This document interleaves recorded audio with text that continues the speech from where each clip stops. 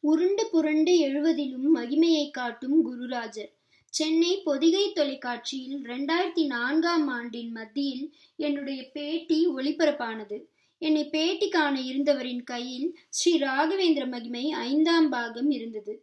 நிகழ்ச்சி நிர்வாகியும் கவிஞரும் ஸ்ரீ ராகவேந்திரரின் பரம பக்தருமான டாக்டர் பாலரமணி அவர்கள் அறையிலிருந்து நானும் என்னை பேட்டி காணப்போகும் வேதப்பிரியாவும் ஒளிப்பதிவு கூடத்திற்கு செல்லும்போது சார் உங்கள் நூலிலே ஒவ்வொரு அத்தியாயத்திற்கும் நீங்கள் வைக்கும் தலைப்பு மிகவும் நன்றாக இருக்கிறது. நாடி வந்து நாடி தந்து நாட வைத்த மகிமை. என்னும் தலைப்பு எத்துணை பொருத்தமானது என்பதை அந்த அத்தியாயத்தை படிப்பவர்கள் அறிந்து வியப்பார்கள். நூல் முழுவதும் உங்கள் சொல்லாட்சி நேர்த்தியாய் இருக்கிறது என்று சொல்லிக்கொண்டே வந்தார். பேட்டியின் போதும் என்னை பற்றி இந்த துறைக்கு வந்தது பற்றி எல்லாம் கேட்டதை விட ஸ்ரீ ராகவேந்திரர் தொடர்பான அநேக வினாக்களையே அதிகம் எழுப்பினார். நீங்கள் ராகவேந்திரர் மேல் ஆய்வு நூல்களை எழுதுவது போல் பாடல்களும் இயற்றியிருக்கிறீர்கள். அதில் உங்களுக்கு பிடித்தது எது என்று என்னை நோக்கினார். நான் எதை சொல்வது எதை விடுவது? ஒவ்வொன்றும் அனுபவித்து அனுபவித்து எழுதியதாயிற்றே என்று நினைத்தாலும் ஒரு நான்கு வரிகளே எனக்கு மிகவும் பிடித்தமானது என்று சொன்னேன். எழுத்தறிவில் சிறந்தாய் நீ குடந்தையிலே இல்லறத்தை துறந்தாய் தஞ்சையிலே தழைக்கின்றாய் ஜீவனுடன் துங்கையிலே நாங்கள் தந்திட்டோம் எம் வாழ்வை உன் கையிலே. இந்த நாலு வரி சரணம் எனக்கு ரொம்பவும் பிடித்தமானது. எங்கள் வாழ்க்கையையே உன் கையில் ஒப்படைத்து விட்டோம். துங்கையிலே என்னாலும் ஜீவனுடன் தழைக்கின்ற நீதான் எம் பொறுப்பு என்று தினம் தினம் இவ்வரிகளை நான் உச்சரித்துக் கொண்டிருப்பேன். தொலைக்காட்சி என்றதும் இன்னொரு நிகழ்வு நினைவிற்கு வருகிறது. ரெண்டாயிரத்தி நான்கு பிப்ரவரியில் பெரம்பூரில் மிருத்திகா பிருந்தாவனம் பிரதிஷ்டையான போது ஒரு தொலைக்காட்சியை சேர்ந்தவர் நிகழ்ச்சிகளை பதிவு செய்து கொண்டிருந்தார். பக்தர்கள் சிலரின் வாழ்வில் ஸ்ரீ குருராஜர் நிகழ்த்திய மகிமைகளையும் படம் பிடித்துக் கொண்டிருந்தார். அப்போது ஒருவர் தம் வாழ்வில் ஸ்ரீ குருராஜர் நிகழ்த்திய தம் மனைவிற்கு ஏற்பட்ட இக்கட்டின் போது ஸ்ரீ குருராஜர் நிகழ்த்திய மகிமைகளை மடை திறந்தார் போல் உருக்கமாக சொல்லிக் கொண்டிருந்தார். உண்மையில் இதே நிகழ்வை இதற்கு முன்பே என்னிடம் இவரே அவரது வீட்டிற்கு வரவழைத்து சொல்லியிருந்தார். கைப்பட எழுதி தந்தால் என்னுடைய நூலில் பிரசுரிக்கலாம் என்றும் அவரிடம் சொல்லி வந்தேன். இதன் பின்னர் பல பொது நிகழ்வுகளில் இவரையும் இவரது மனைவியையும் சந்தித்து வந்தேன். ராயரிடமிருந்து சமிக்ஞை வரட்டும் எழுதி தருகிறேன் என்று சொல்லி வந்தார். அவர் அப்படி சொன்னதற்கும் காரணம் இருந்தது. படியுங்கள் ஒரு நாள் உங்களுக்கும் புரியும். ஒரு நாள் காலை வேலை ஒரு தொலைபேசி அழைப்பு வந்தது. நான் ஆர். வெங்கடேசன் வங்கி பணியில் உயர் பதவியில் இருந்து ஓய்வு பெற்றவன். நீங்கள் எழுதிய ஐந்து பாகங்களும் எமக்கு வேண்டும் என்றார். முகவரியை சொல்லுங்கள் அனுப்ப சொல்கிறேன் என்றதும் அனுப்பவெல்லாம் வேண்டாம் நீங்களே நேரில் கொண்டு வந்து தர வேண்டும் என்று சொன்னார். அவர் சொன்ன காரணம் ஏற்புடையதாய் இருந்தது. அவரின் இல்லம் கீழ்ப்பாக்கத்தில் இருந்ததால் ஐநாவரம் ஸ்ரீமடத்திற்கு செல்கையில் ஒரு நாள் வருவதாக சொல்லியிருந்தேன். அதன்படியே ஒரு வியாழனன்று மாலை ஐந்து பாகங்களோடு அவரது இல்லத்திற்கு சென்று திரு. வெங்கடேசன் அவர்களுடன் பேசிக் கொண்டிருந்த போது ஒரு அம்மையார் கையில் டவரா டம்ளருடன் மெல்ல வந்து கொண்டிருந்தார். என் மனைவியை பாருங்கள். உங்களுக்காக அவரே சமையற்கட்டிற்கு சென்று தயாரித்து வந்திருக்கிறார்கள். இப்படி நடந்து வருவாரா என்பதே கனவாய் இருந்தது. குருராஜரின் அருளும் உங்கள் நூல்களும் தான் இதை நடத்தி இருக்கிறது என்று நெகிழ்ந்து எல்லா விவரங்களையும் தெரிவித்தார். நானும் பூர்ணமாய் குணமடைய குருராஜரை பிரார்த்தித்துக் கொள்கிறேன் என்று சொல்லி விடை பெற்று வந்தேன். சில மாதங்கள் கழித்து திருவல்லிக்கேணி ஸ்ரீ ராகவேந்திர மடத்தின் பின்புற மண்டபத்தின் மாடியில் மந்த்ராலய மடாதீசரை தரிசிக்க சென்றிருந்த போது படிகளிலே மிக வேகமாக ஒருவர் ஏறி வருவதை பார்த்து குருராஜா குருராஜா என்று என் மனம் ஸ்மரித்து கொண்டது. வந்தவர் திரு வெங்கடேசனின் துணைவியார். நடப்பதற்காக சிரமப்பட்டவர் இப்படி வந்தது ஆச்சரியமாக இருந்தது. வெங்கடேசன் தம்பதியருக்கு ஒரு மகன் இரண்டு புதல்விகள். இவர்களுக்கு திருமணமெல்லாம் செய்து வைத்து மிக நிம்மதியாய் இருந்தனர். ஒரு மகள் அபுதாபியிலும் இன்னொரு மகள் பெங்களூரிலும் இருந்தனர். மகன் அமெரிக்காவில் அட்லாண்டாவில் ஆரக்கிள் கார்பரேஷனில் டெக்னிக்கல் டைரக்டராக நல்ல உத்தியோகத்தில் இருந்தார். அங்கே சொந்த கை குடியிருப்பை வாங்கி கிரகப்பிரவேசமும் செய்திருந்தார். அப்போதிருந்தே தாய் தந்தையரை அங்கு வந்து செல்லுமாறு அழைத்து கொண்டிருந்தார். அதன்படி இரண்டாயிரத்தி ரெண்டாம் ஆண்டு ஜூலை மாதம் இவர்கள் செல்வதென முடிவாகி அமெரிக்காவிலிருந்து மகன் நாராயணன் தாய் தந்தையர் வருவதற்கான விசா மற்றும் விமான பயண டிக்கெட்டை எல்லாம் எடுத்து அனுப்பியிருந்தார்.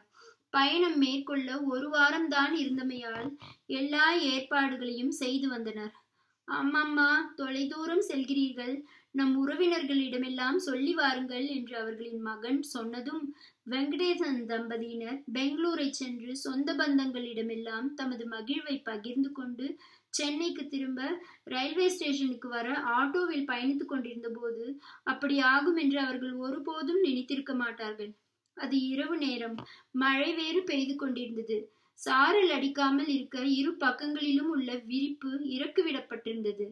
பிசி மில் அடுக்கே அருகே செல்லும் போது அந்த ஆட்டோ திடீரென நிலை தடுமாறியது. என்ன ஆகியது? என்ன நடக்கிறது? என்பதை கூட யூகிக்க முடியாத தருணத்தில் பக்கத்தில் இருந்த பள்ளத்தில் அது விழுந்ததும் ஏதும் புரியாது. அவசர அவசரமாக ஆட்டோவிலிருந்து எப்படியோ சிரமப்பட்டு வெளியே வந்தனர். வெங்கடேசனின் மனைவி கீழே இருந்து எழுந்திருக்க முடியாமல் மிகவும் அவதிப்பட்டார். அவரை கை கொடுத்து தூக்கி ஒரு நிலைக்கு வந்ததும் ஆட்டோவும் சரி செய்யப்பட்டு திட்டமிட்டபடி அந்த மழையிலும் ரயில்வே ஸ்டேஷன் வந்து ரயிலில் ஏறி அமர்ந்தனர். எவ்வளவு சந்தோஷமாய் பெங்களூருக்கு வந்தோம். ஏன் இப்படி ஆகியது? இது எதை காட்டுகிறது? என்று குழம்பினர். வலி இருக்க இருக்க அதிகமாகியதால் தூக்கமும் இல்லாமல் வீடு வந்து சேர்ந்தனர். வெங்கடேசனை விட அவரது மனைவிக்கு வெளியில் காயம் இல்லாவிட்டாலும் இடுப்பெல்லாம் ஒரு நிலையில் நிற்காமல் வாட்டி வதைத்தது. அடுத்த நாள் தன் மனைவி படும் அவஸ்தையை காண சகியாது. ஆஸ்பத்திரிக்கு அழைத்து சென்றார் வெங்கடேசன். மருத்துவர் குழு ஸ்கேன் எக்ஸ்ரே இத்தியாதிகளை எடுத்து பரிசோதித்து பார்த்ததில் இடுப்பு நழுவி இருந்தது தெரிந்தது. உடம்பெல்லாம் உதறலும் இருந்தது. அதோடு கூட அவருக்கு வயதாகி இருந்ததால் எலும்பு தேய்மானமாகி இருந்ததால் வலியின் கொடுமை மிக அதிகமாகி வந்தது. இவையெல்லாம் சரியாக வேண்டுமானால் என்ன செய்ய வேண்டும் என்றார் வெங்கடேசன். அறுவை சிகிச்சை தான் இதற்கு ஒரே வழி. கொஞ்சம் சிக்கலான சிகிச்சையும் கூட. வேறு வழி இல்லை என்றால் வேறென்ன செய்வது? செய்துவிட வேண்டியதுதான். எதற்கும் நீங்கள் ஒரு லட்சம் ரூபாய் தயார் செய்து கொள்ள வேண்டும். இதற்கு சரி என்றால் தேதி குறித்து விடலாம் என்றது அப்பல்லோ ஆஸ்பத்திரி நிர்வாகம். அதன்படி அறுவை சிகிச்சைக்காக தேதியும் குறிக்கப்பட்டது. ஆசை ஆசையாய் மகன் அழைக்க எல்லா ஏற்பாடுகளும் முடிந்த நிலையில் இப்படி உடம்பொடிந்து மனம் ஒடிந்து இருக்கும் தன் மனைவியை பார்த்து பார்த்து வெங்கடேசனுக்கும் நிம்மதி இல்லாது போயிற்று. தற்போதுள்ள நிலையில் அமெரிக்க பயணம் இல்லை என்றானதும் டிக்கெட்டை ரத்து செய்துவிட்டு வந்து ஸ்ரீ குருராஜரின் முன் நின்று மனமுருகி வேண்டினார். அவர் எனக்கு எழுதிய கடிதத்தில் என்ன எழுதியிருந்தாரோ அதை அப்படியே கீழே தருகிறேன். நான் என்ன பாவம் செய்தேன்? அல்லது என் மனைவி என்ன பாவம் செய்தால் நாங்கள் அல்லும் பகலும் உங்களையே நினைத்து உருகி ஸ்துதி பாடிக்கொண்டிருக்கிறோமே அப்படி இருக்கும்போது எங்களையே இப்படி சோதிக்கிறாய்? எங்களுக்கு ஒரே மகன். அவன் ஆசையாய் தந்தை தாய் தந்தையரை தான் இருக்கும் இடத்திற்கு சில நாட்கள் வந்து தங்க வேண்டும் என்று நினைத்தது தவறா? எதற்காக அவன் டிக்கெட் அனுப்பியும் கூட அதை கேன்சல் செய்யும்படியாக செய்துவிட்டாய்? இந்த என்னுடைய புலம்பலுக்கு தாங்கள் தான் பதில் கூற வேண்டும் என்று சொல்லி கதறி அழுததாக எழுதி மீண்டும் மேலும் தொடர்கிறார். அந்த நேரத்தில் என்னை யாரோ முதுகில் பலமாக அடிப்பதை போல் இருந்தது. திரும்பி பார்த்தேன் யாரும் இல்லை. அதே நேரத்தில் ஸ்ரீ ராகவேந்திரரின் படம் சற்று அசைந்தது. அதிலிருந்து ஒளி வருவதும் கேட்டது என்று எழுதி அந்த ஒளி எதற்கும் அவ கவலைப்படாதே டிக்கெட் கூட கேன்சல் ஆகவில்லை ஒத்தி வைக்கப்பட்டுள்ளது அவ்வளவே என்று கன்னடத்தில் கூறியதாகவும் வெங்கடேசன் கடிதத்தில் குறிப்பிட்டிருந்தார். இதனால் அவருக்கு மனதில் ஒருவித நிம்மதி ஏற்பட்டதும் அன்றிரவு நன்றாக உறங்கினார். அடுத்த நாள் அதிகாலை ஒரு அவருக்கு ஒரு கனவு. கனவிலே ஒரு பிராமணர் நீ எதற்காக இந்த மദ്രാஸ் ஆஸ்பத்திரியை தேடுகிறாய்? மந்திராலயத்தில் ஒரு ஆஸ்பத்திரி இருப்பது உனக்கு தெரியாதா? அங்கு சென்று வா உன் மனைவி குணமடைவாள் என்றதும் தனது மூத்த சகோதரியையும் உதவிக்கு இன்னொரு பெண்மணியையும் வைத்துவிட்டு அன்றிரவே மந்திராலயத்திற்கு புறப்பட்டார். வெங்கடேசன். அங்கே மந்திராலயத்தில் மூன்று நாள் சேவை செய்ய சங்கல்பம் செய்து கொண்டு கடினமாக தொழுது வந்தார். இங்கே சென்னையில் அவரது மனைவி ஸ்ரீ ராகவேந்திர மகிமை நூல்களை முழு மூச்சாய் திட பக்தியுடன் படித்து வந்தார். சேவை முடிந்ததும் மந்திராலயத்திலிருந்து வெங்கடேசன் தொலைபேசியில் எல்லாம் நன்றாக முடிந்ததாக சொன்ன அதே வேளையில் படுத்த படுக்கையாய் இருந்த அவரது மனைவி சடார் என்று எழுந்து அமர்ந்து விட்டார். மந்திராலயத்திலிருந்து சென்னைக்கு திரும்பி பிரசாதங்களை தந்து அடுத்த நாள் மனைவியை பரிசோதிப்பதற்காக மருத்துவரிடம் அழைத்து சென்றபோது அப்படி ஒரு அதிசயம். அவர்களால் நம்ப முடியாத அதிசயம். ஆம் மீண்டும் எக்ஸ்ரே ஸ்கேன் எல்லாம் எடுத்து பார்த்ததில் டாக்டர்களுக்கும் ஆச்சரியம். அறுவை சிகிச்சைக்கு அவசியமில்லாதபடி உடல்நிலை நன்கு தேறி இருந்தது கண்டு நியூரோ சர்ஜன் உட்பட அனைவரும் வியந்தனர். வெங்கடேசன் அதற்கான காரணத்தை கூறியதும் இவ்வளவு சிக்கலான ஆபத்தான நோயாளியை சிகிச்சை ஏதும் இன்றி காத்தது தெய்வீக மகிமைதான். மருத்துவத்தால் செய்ய முடியாததை மந்திராலய மகான் நிகழ்த்தி காட்டிவிட்டார் என்று மருத்துவர்கள் ஸ்ரீ ராகவேந்திரனின் மகிமையை பெருமையாக பேசினர். இதன் பின்னரும் வீட்டில் ஓய்வெடுத்துக்கொண்டு நமது ஐந்து பாகங்களையும் மீண்டும் படித்துக்கொண்டு உடல்நிலை தேறி வருகையில்தான் என் மனைவியை அங்கு அழைத்து வரும் நிலையில் இல்லை. ஆதலால் நீங்களே வாருங்கள் என்று அழைப்பு விடுத்து இன்னும் ஒரு செட் நூல்கள் வாங்கினார் திரு வெங்கடேசன். இதைத்தான் நான் முன்பே எழுதியிருந்தேன். இதன் பின்னர் ஆறு மாதம் கழித்து அதே டிக்கெட்டில் வெங்கடேசன் தம்பதியினர் சந்தோஷமாய் அமெரிக்கா சென்று திரும்பினர். இதை படித்தவுடன் உங்களில் சிலருக்கு இப்படி தோன்றலாம். அதாவது முதலில் குறிப்பிட்ட தேதியிலேயே ஆட்டோவிலிருந்து விழாமல் திட்டமிட்டபடி பயணம் மேற்கொண்டிருக்க செய்திருக்கலாமே. இவ்வளவு கஷ்டங்களை கொடுத்து அதை நிறைவேற்றி இருக்க வேண்டுமா? என்கின்ற வினா எழலாம். கவிக்கண்ணன் நிகழ்ச்சியில் கூட விடுப்பில் இருந்தவரை காரில் அனுப்பி விபத்தில் சிக்க வைத்தார். இவர்களும் தொலைபேசியிலேயே உறவினர்களிடமெல்லாம் அமெரிக்கா செல்வதை சொல்ல வைத்திருக்கலாம். ஆனால் நேரில் சொல்ல வைத்து இவர்களையும் விபத்தில் சிக்க வைத்தார். அங்கே கவிக்கண்ணன் மதுரையிலிருந்து கரூர் செல்கையில் அடைமழை. இங்கும் இவர்கள் ஸ்டேஷனுக்கு திரும்புகையில் மழை. அங்கு காரில் மூன்று கர்ணம் அடித்து மரணம் சம்பவிக்க வேண்டிய சூழலில் ஊசி முனையளவு காயம் கூட இன்றி தப்பிக்கின்றனர். ஆனால் இங்கே ஆட்டோ பள்ளத்தில் தான் விழுகிறது. அதன் விளைவோ படுமோசமாக ஆகிறது. ஏன்? குருராஜர் ஏன் இப்படி சோதிக்க வேண்டும்? சோதித்து அதன் பின் பலனை ஏன் அளிக்க வேண்டும்? சோதனைகள் இல்லாமல் அளித்திருந்தால் எவ்வளவு நன்றாக இருந்திருக்கும்? திரு ஏஎம்ஆர் கூட ஒரு நாள் தனது நிகழ்ச்சியை என்னிடம் தொலைபேசியில் விளக்கிக் கொண்டிருக்கும் போது நதியை மீண்டும் கடக்காமல் பாலத்தில் ஏறியதுதான் நான் செய்த தவறு என்று மிகவும் யதார்த்தமாக கூறியதும் அது நீங்கள் செய்த தவறல்ல. குருராஜர் தான் உங்களை அப்படி இழுத்து வந்திருக்கிறார்.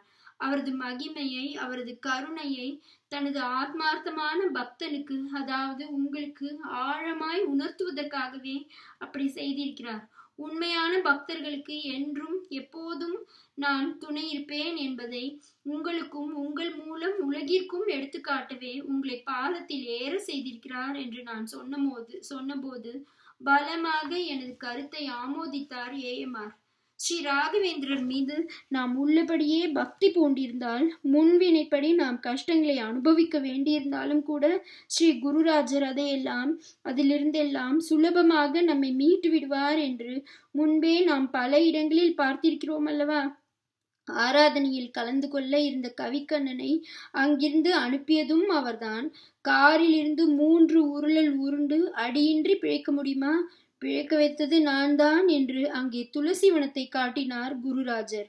உருண்ட உர் வண்டி உருக்குலைந்து போக அதில் பயணித்த இவர்கள் யாருக்கும் ஏதும் அடியின்றி காப்பாற்றியது ஸ்ரீ குருராஜரின் செயலன்றோ இதனால் கவிக்கண்ணனின் பக்தி மேலோங்கி ஸ்ரீ ராகவேந்திர மகிமை நூல்களை தன் தாயாருக்கு தர அவரும் அவரது உபாதைகளில் இருந்து வியக்கத்தக்க முறையில் மீள்கிறார். இந்த நிகழ்ச்சியில் கூட வெங்கடேசன் தம்பதியினரின் பயணத்தை ரத்து செய்யாமல் கொஞ்சம் தாமதப்படுத்தி இருக்கிறார் பிராமண ரூபத்தில் தோன்றி அசரீரியாய் படத்திலிருந்து ஒளி எழுப்பி அறுவை சிகிச்சைக்காக தேதி குறித்தும் கூட அதற்கு அவசியமில்லாமல் செய்ததெல்லாம் அவரது கருணை என்றோ இப்படிப்பட்ட கருணையை பெற நாம் எத்தனை உருளல் வேண்டுமானாலும் உருளலாம் அன்றோ. முன்ஜென்ம வினைப்படி வரும் தீங்குகளை கூட ஸ்ரீ குருராஜர் தீர்ப்பார் என்றால் முன்ஜென்மத்திலும் நாம் நிறைய புண்ணியங்களை சேர்த்திருக்க வேண்டும். ஸ்ரீ ராகவேந்திரர் சங்குகர்ணனாக இருந்தபோது செய்த புண்ணியம்தான் பிரஹ்லாதராக இருந்தபோது அவருக்கு ஏற்பட்ட இன்னல்களை எல்லாம் கலைந்து காத்தது. சங்குகர்ணர் தான் புண்ணியம் செய்திருக்கிறாரே அதனால் பிரஹ்லாதராய் இருக்கையில் சுகம்தானே பட்டிருக்க வேண்டும். ஏன் யானையின் காலில் இடர வேண்டும்? மலையிலிருந்து உருள வைக்க வேண்டும். தாயின் கையாலேயே விஷத்தை தர வைக்க வேண்டும். என்றால் முன் ஜென்ம புண்ணியம் இதை போன்ற தீங்குகளையும் தாங்கி பகவத் மகிமையை வெளிப்படுத்தும் என்பதை நிரூபிக்கத்தான். ஸ்ரீ குருராஜரின் மீது நாம் இப்போது பக்தியாய் இருக்கிறோம். அவரது பக்தர்களாய் இருக்கிறோம் என்பது கூட நமது பூர்வ ஜென்ம புண்ணியம்தான். இந்த ஜென்மத்தில் திட பக்தியாய் இருந்தால் இப்போதும் அடுத்த பிறவியிலும் கூட அந்த புண்ணியம் நமக்கு துணை வரும். நம்மையும் நமது சந்ததியினரையும் கூட காக்கும். ஆதலால் ஸ்திரமான குருராஜ பக்தர்கள் எந்தவித சோதனைக்கும் கலங்குதல் கூடாது. கஷ்டங்கள் வந்தபோதும் குருராஜரின் பாத கமலத்தை நாம ஸ்மரணத்தை கெட்டியாக பிடித்துக்கொள்ள வேண்டும். அப்படி இருந்தால் மூல பிருந்தாவனத்துள் உறையும் குருராஜர் மிருத்திகா பிருந்தாவனங்களின் வழி அருளும் குருராஜர் நம்மையும் நம்மை சார்ந்தோரையும் எப்போதும் என்றென்றும் காப்பார். இது சத்தியம். மூல பிருந்தாவனத்திலிருந்து மிருத்திகையை எடுத்து வந்து பிரதிஷ்டை செய்யப்படும் மிருத்திகா பிருந்தாவனங்களுக்கும் அதே பலன்களும் அருளும் சக்தியும் உண்டென்று நமது ஒவ்வொரு பாகத்திலும் கண்டோம் அல்லவா? அந்த மிருத்திகா பிருந்தாவனங்கள் அதாவது மிருத்திகையை தாங்கும் பிருந்தாவனங்கள் எப்படி செய்யப்படுகின்றன? யாரால் உருவாக்கப்படுகின்றன? அப்படி உருவாக்கும் போது ஸ்ரீ குருராஜர் புரிந்த மகிமைகள் போன்றவற்றை அடுத்தடுத்ததாக காண்போம்.